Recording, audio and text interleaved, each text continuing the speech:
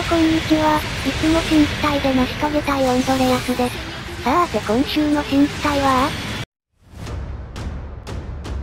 何でもいいからとにかく急いでくれ。はい、今週の新機体はアドバンスオブゼータティターンズの旗の元にからアドバンスドヘイズルが実装。今週は20連でのゲットとなりました。アドバンスドヘイズルは550コストの支援機となっておりますね。機体チェック。アドバンスドヘイズルはヘイズル2号機を全面回収した機体。ヘイズル界データ運用データがフィードバックされており、高性能光学センサーユニット、や強化型シールドブースターをはじめとした特殊装備の追加が行われ、高いレベルでバランスの取れて機体へと進化している。武装チェック。武装はヘイズル用ビームライフル、ビームサーベル、グレネードランチャー、強化型シールドブースター装備型ビーム砲、ヘイズル用ビームライフル、ヘイズル系いつものやつ、フルチャージすることで武器威力が1900から3600に大きく向上し貫通効果が付与されますが、弾数を3消費。ビームサーベル、高性能バランサーによりダッシュ格闘が可能。モーションは扱いやすいモーションで方向補正や連撃補正は標準。グレネードランチャー、3発でよろけが取れますが、山なり軌道なため近距離などで扱いづらい。ビーム砲、ワントリガーで2射同時発射を5セット。ワントリガーでよろけが取れる高い蓄積よろけ能力ですが、実戦でよろけさせるときはワントリガーでよろけさせられない場面が結構あるので課金は禁物。2トリガーをすべて叩き込んだ際の武器威力は5000と高い。チャージも可能。フルチャージすることでよろけ効果が付与され、武器威力は2700に、スキルシールドブースター制御機公開により、シールドが壊れていない間は、支援機にあるマジキスラスター性能を発揮。ダッシュ中に火よろけ射撃リアクションを緩和するマニューバーアーマーは適用されないので注意。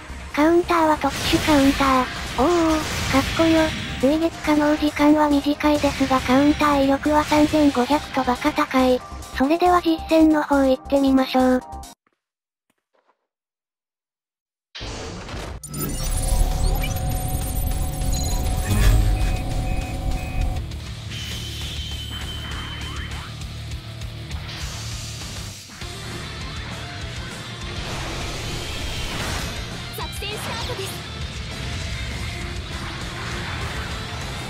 はい、550コスト戦場廃墟としやっていきましょう。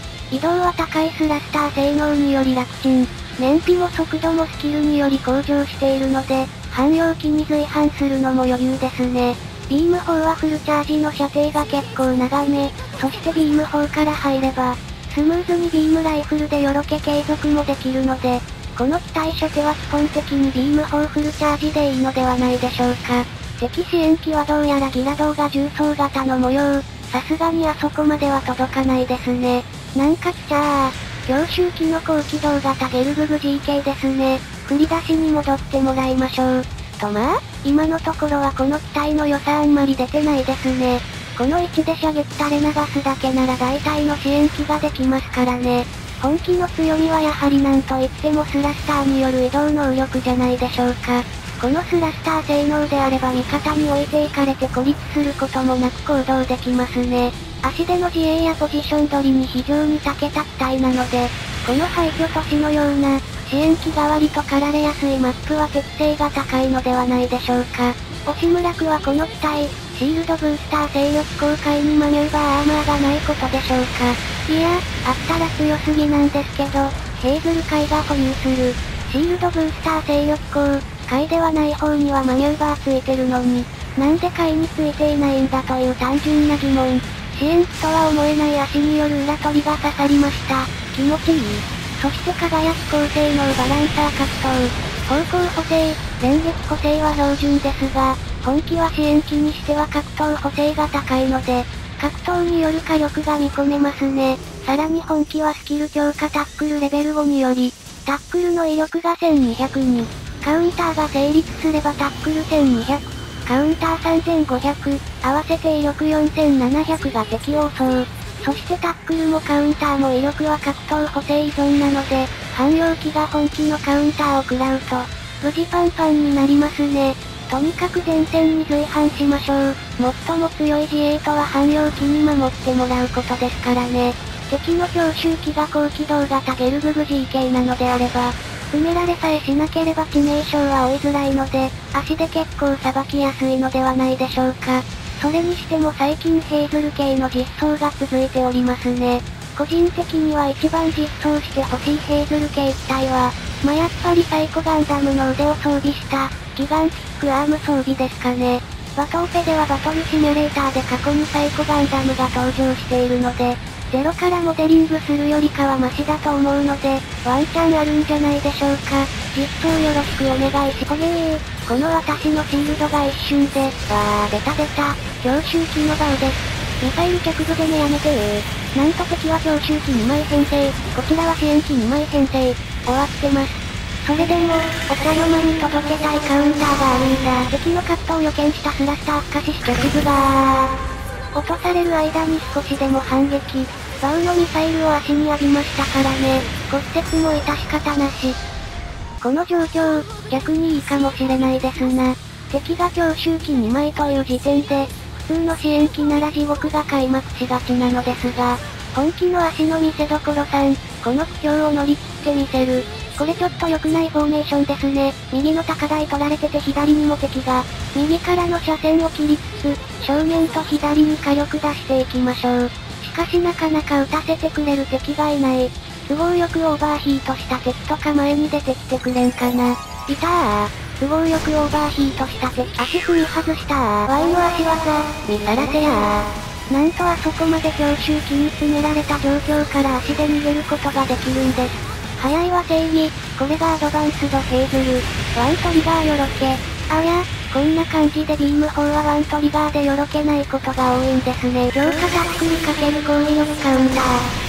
追撃してると死ねる予感がするのでここも高機動でリダック。今のタックルからカウンターだけで6400ダメージ入りました。カウンターはやっぱこうじゃないとね。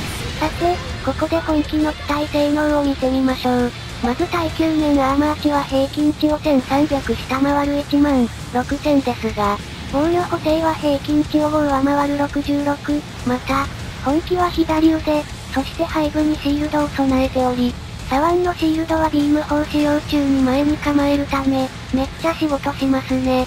耐久性能はなかなか良好なのではないでしょうか。